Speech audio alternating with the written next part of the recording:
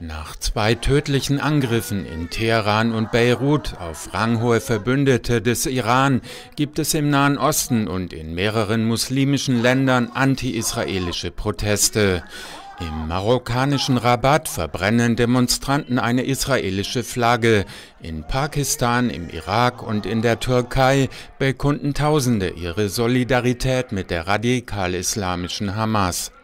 Deren Auslandschef Ismail Haniya war nach Angaben der Hamas in Teheran in seiner dortigen Residenz getötet worden. Die iranische Führung, die Hamas und deren Verbündete machen Israel verantwortlich und haben mit Vergeltung gedroht. Israel bekannte sich bisher nicht zu dem Angriff auf Haniya, bestätigte aber die Tötung des Hisbollah-Kommandeurs Fuad Shukre im Libanon. Ministerpräsident Benjamin Netanyahu schwor seine Landsleute auf eine mögliche militärische Auseinandersetzung mit den Feinden Israels ein. Seit dem Angriff in Beirut hören wir Drohungen von allen Seiten. Wir sind auf jedes Szenario vorbereitet und werden vereint und entschlossen gegen jede Bedrohung stehen.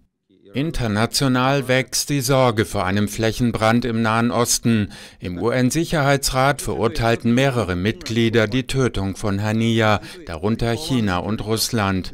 Der iranische UN-Botschafter forderte eine Bestrafung Israels.